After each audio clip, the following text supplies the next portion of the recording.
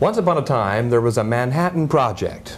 Now, I say once upon a time, John Lithgow, because Manhattan Project is both about a nuclear bomb and it's a tall tale, mm-hmm. I think. Is that a fair pairing of adjectives? Yeah, that's a pretty good description of the film. And you yourself are kind of a teller of tales. It's like it's like you're this kid, maybe grown a little older. Mm-hmm. Is that also fair? Boy, I'm glad you said these things. uh, that's precisely what this character is, and I think that's the nature of the story. I'm an older version of the young hero. Uh, both of us, in the course of the film, grow up. We sort of mature. We're both science whizzes, the young and the old. And our zeal for science has, is such a passion that all sorts of other things in our lives have either fallen away or been ignored, uh, comfortably put at a distance.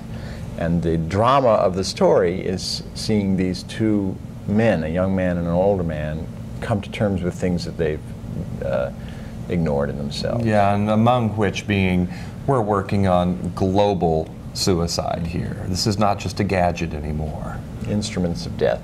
I'm wondering if you feel that there's a sensibility out there in the world that is also like that, maybe doesn't quite know yet what we are onto here. I think uh, it's something that all of us share. I, I think there's a, a, I think it's one feeling everybody knows, this sort of queasy, sick feeling in our stomachs.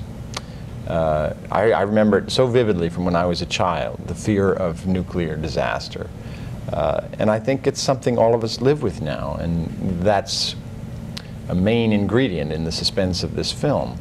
Uh, n- not in a manipulative way, I think in a very important and significant way. I don't want to make this sound like a, an important and serious film. Well, that's the But- final miracle, isn't it? It's not. It's, it's, it's about something that, that obsesses us all, and, but that none of us knows what to do about. I was going to suggest that the real miracle is that somehow it becomes a deft comedy. Mm-hmm. And I would like to fantasize that on the set you must have had as much fun as what Oh. we end up seeing. Have you, have you interviewed Marshall Brickman Not yet? yet, no. Delightful man. I mean, we laughed all the time. Uh, I think it's, it's Marshall's way of. Marshall has an incredible sense of irony and comic distance. At the moments in the film when there is the most suspense, the most drama, and the most fear, he shoots it through with manic humor. Uh, it's also the nature of scientists, I think. There is a kind of scientist's sense of humor, which is uh, the humor of the film, this kind of not- crazy, black uh, cabin fever humor that uh, all of these colleagues working in a top secret environment share with each other. The only way they can go on. I'm perhaps. to get potentially embarrassing to you here because I want to talk to John Lithgow as somebody who's seemingly breaking a lot of molds for the leading man of today's movies. Diversity, vulnerability. What other adjectives might you apply to the John Lithgow you see emerging on screen, at least? Tall. Then me. Uh, well, unpredictable.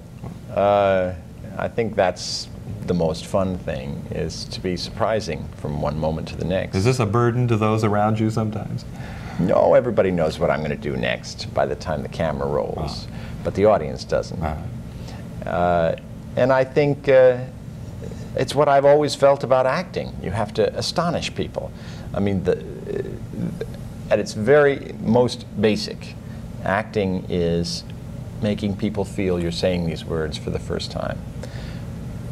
There's something surprising about that. I don't know what you're going to say next. I have no idea. Indeed, you don't, because Indeed, you don't. I didn't expect that. You, you see, uh, and beyond, and if you take, you know, by extension, when you play a part, you have to be unpredictable. You- There's nothing that I hate more in in acting and movies and television, God knows, than predictability, familiarity, and and boring exposition. no wonder you must have been drawn to George S. Kaufman. Oh yeah. See, you didn't know I was going to that, and I didn't know if I was going to be able to get to that. But I can't wait to ask you about George S. Kaufman and why, why Kaufman for you. Kaufman was the heart and soul of American comedy for about 30 years. Uh, Woody Allen and Marshall Brickman are his uh, descendants.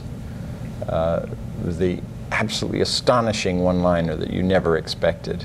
George Kaufman practically invented that on the Broadway stage.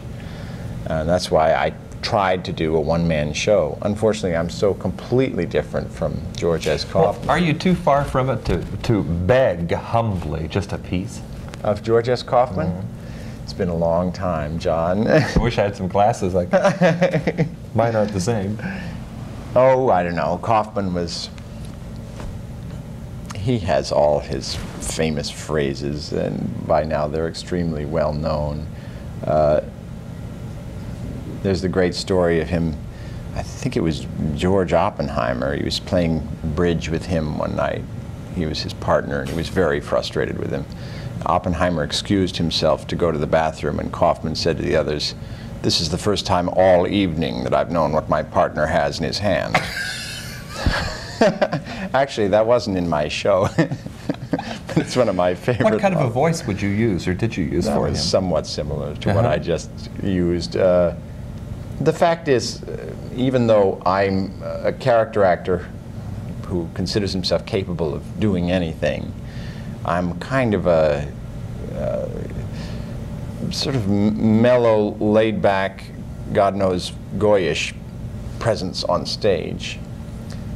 Kaufman was like a knife. He was thin, he was acidic, he was uh, the ultimate sort of Jewish comic, very dry, and a kind of he had a kind of cutting edge to him. All In fact, he was a fairly unpleasant person. Yes. All of this, I acted my heart out, but when you're doing a one-man show, there's a limit to how much characterization you can but do. devastatingly attractive to women. Yes, he was. Indeed. That's And- another difference between him and me. And all of these, all of these are qualities you must have thrown into Secret Service as well. Wow, where did you get all Well, I, I these? just, I just wish I could have seen you in some of these. Is the only problem. Secret Service was uh, a William play I did. William Gillette. It was one of his two major vehicles. It was Secret Service and Sherlock Holmes that he performed all through the late 19th century to devastating effect. And actually, I played that in New York off Broadway with Meryl Streep. It was like her third role in New York, and uh, had a great time. I'm just going to close out with all these adjectives: devastating, laid back, acidic, elfin. all of these in Manhattan Project as well. John Lithgow. John. Pleasure to see you as well, on screen and off, Thank as you. always. And from New Orleans, talking with John Lithgow for KCTV5, I'm John Tibbetts.